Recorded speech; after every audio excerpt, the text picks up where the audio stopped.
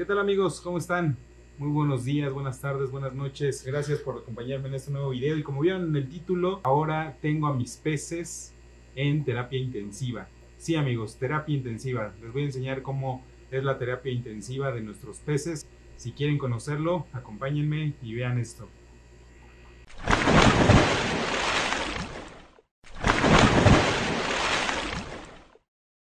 Así es queridos amigos, el día de hoy les voy a mostrar cómo tenemos algunos peces en terapia intensiva.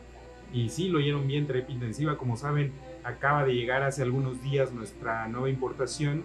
Y bueno, siempre buscamos que lleguen de la mejor manera, pero al final seres vivos y hay algunos que llegan a presentar pues algún tipo de lesión, cansancio, estrés, etcétera. El cúmulo de todo esto hace que el pez no esté al 100% desde un inicio. Esto no se ve fácil, pero debe serlo.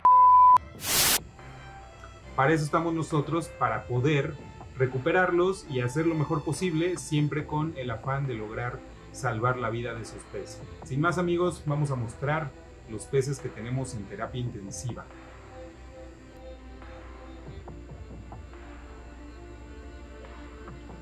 Pues sí amigos, miren, como pueden ver aquí tenemos un par de peces, que este llegó muy lastimado de sus agallas y presentaba algún síntoma ya de bacterias, de bacteriosis. El pez de allá también mostraba un poco de aletargado, eh, fallaba al nadar y bueno, pues aquí nosotros lo que hacemos es buscar darle solución a todo esto. Muchos de nosotros, perdón, muchos de ustedes saben que nosotros tenemos una solución para tratar la bacteriosis. En este caso no lo hacemos así porque los peces ya están cansados y al estar cansados no soportan el tratamiento tan fácil y en lugar de ayudarlos los dañamos.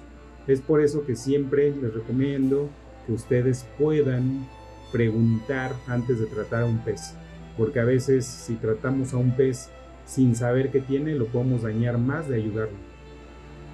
Entonces aquí por ejemplo les estamos dando un baño con acriflavina y hacemos varias cosas amigos.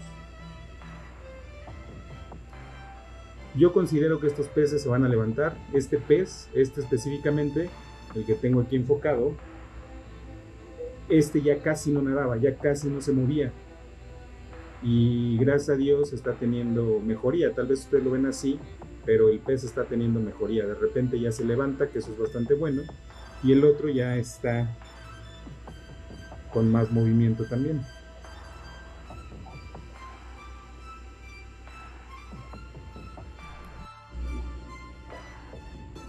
Los peces que vimos allá son los que están en terapia intensiva. Estos ya están en tratamiento pero si ven, este tiene signos de examita. Y esos signos de examita es por el estrés. El estrés al que se someten lleva a que los peces detonen la examita y algunos parásitos. Por ejemplo, este le cuesta trabajo respirar y si ven su agalla, tiene mucosa. Entonces, este es posible que dependiendo cómo evolucione, lo podamos pasar a terapia intensiva antes de que pueda tener algún otro problema.